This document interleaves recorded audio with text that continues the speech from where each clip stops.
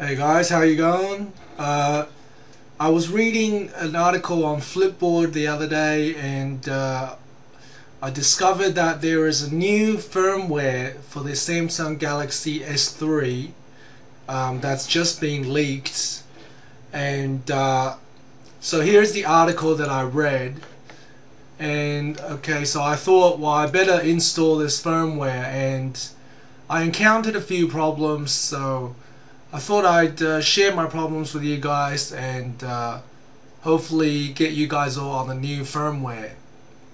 So the first thing uh, that was discussed was why would you install this new firmware? Well, apparently there are some features that are on the S4, Galaxy S4 that can that can now be worked with S3 so that is the reason why you should get this firmware some other features include uh, new lock screens, driving mode, uh, addition of voice controls, and so on. Read this article to find out more.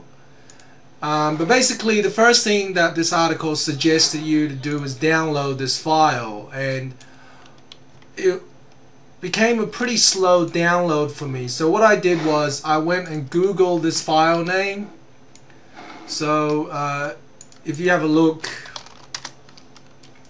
if I just type this file name into Google and I search for it, there are actually a lot of places where you can download this. And for me living in Australia this this first link that came up this is actually the fastest link.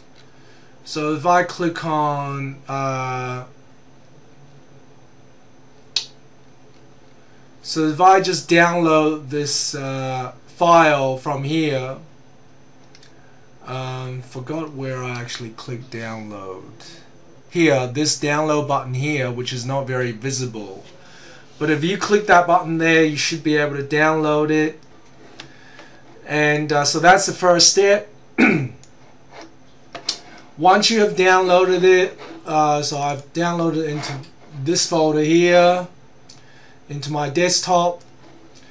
And once you've downloaded it you want to open up the zip file and you want to extract all the files. And there are two files you can see. One is a Odin 3 version 3.04.zip and another file is a .md5 file. So you need to extract both files. So I've extracted both files into this folder and then what you need to do is you're going to run Odin. So I'm running Odin now. And what you want to make sure that you do is you want to check auto reboot, check F. reset time, do not check repartition. And where it says PDA, you want to click on that and you want to just make sure that you double click on the file that you just unzipped the MD5 file. Double click on that. And now you're going to put your phone into download mode. So uh, if you've forgotten how to do that uh, I'm just going to do it with my phone right now. So I'm just turning my phone off so if you've forgotten how to do that, well, uh, one of my other tutorials already shows you, but basically you're going to press the volume down button on the left hand side of your phone. You're going to press the home button, which is down the bottom, down the bottom here. So volume down, home, and then you're going to press the power on button all at the same time. And then you're just going to wait for it and then a message comes up.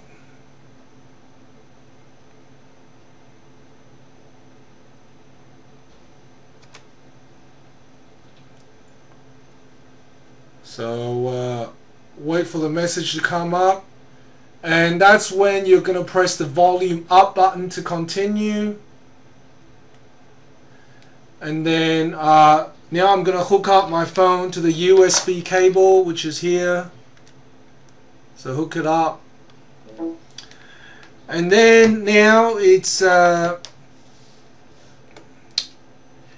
now it's uh, you can see that in the Odin uh, screen it's um, got the signal saying that your phone is connected. And then all you gotta do now is press start. So I'm gonna press start and uh, you can see that it's now flashing the new firmware onto my phone. Uh, it's gonna take a while so uh, I'm gonna put this on pause and then come back when it's done